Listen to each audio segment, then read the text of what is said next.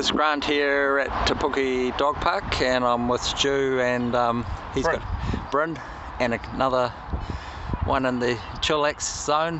Holden. Holden, okay. So um, Stu, uh, I'm just interviewing a few people about the dog park because um, just people aren't sure about them, uh, whether they're a good thing or not. What What do you um, think of this dog park? I've come from Bayfair, multi, days in a row now, Sold solely to come here. Um, How many times you been? I've only just found it this week basically, so uh, yeah, backwards and forwards Okay. times. Just introducing uh, Holden, who's reactive to it progressively, so he can then interact as well. Yeah, yeah.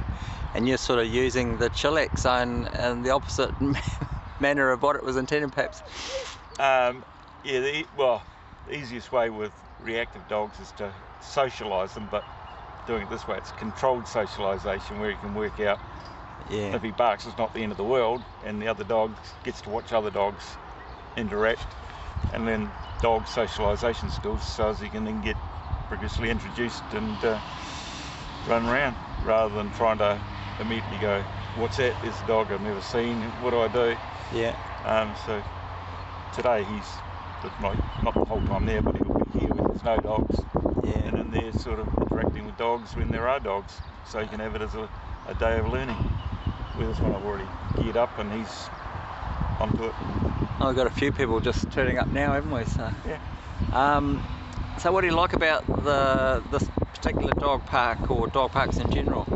I suppose you haven't got any over your way. Um, now they've got designated here you can run your dog area, but not a contained from a safety perspective with in and out gates. Yeah, uh, with some rules so as you don't have complete dickheads wander along with a uh, somewhat radical dog uh, ending up chewing on a chihuahua or something like that. Um, So most most dogs are well behaved here. well, in the three or four times I've been here, I haven't seen any Yeah. um, sort of major dramas. And Yeah. I've been here most, most of it. I've been here since 10 o'clock this morning. Oh yeah. And even as people come in, I've- and my reactive one's gone woof when he's seen the dog. Had a chin wag and they're like all cool with it. They Yeah, fully understand what's going on. Oh, good. And um, is there anything you like particularly about this one, or anything you would uh, maybe do to improve it? Um, no, I like that there's not necessarily by the council, but probably by dog people a stash of balls. And I brought some extra toys from home that I'll leave here as well. Oh yeah. Exactly the same thing going, oh, you can play with them and other dogs get to play with them. It's like, great. Yeah, yeah. Okay. Uh, and you did make one suggestion before. What what would that be? Um, I'm a somewhat mobility um, challenge, so a bit better uh, closer to the actual park, dog park Car parking. for cars and access is probably better. And and the chill zone, maybe a, a separate gate for the chill zone.